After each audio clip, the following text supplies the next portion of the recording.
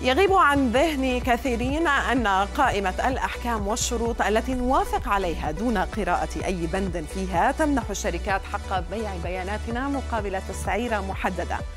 وفقا لستاتستي عفوا يبلغ متوسط سعر المعلومة الواحدة المتعلقة بالحالة الصحية 26 سنتا. اللافت أنها الأعلى سعرا بين باقي البيانات. إذ يبلغ سعر نقطة البيانات المتعلقة بالحالة الاجتماعية 12 سنتا. إذا كنت خاطبا أو على وشك الزواج فيما تبلغ ثلاثة سنتات فقط إذا كنت قد تزوجت حديثا أو مطلقا.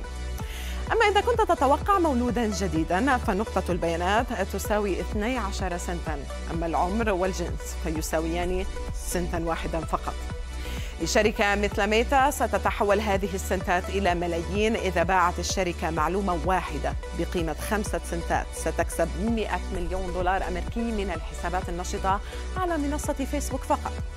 حتى المئات ستتحول لاحقا لمليارات بعد أن تتبع وتحلل شركات التسويق.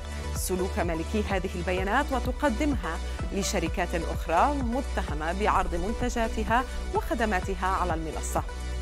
لا تتعجب إذا تكرر لك ظهور إعلان لشركة سفريات على فيسبوك. إذا كنت تتابع حسابات تنشر محتوى عن السفر.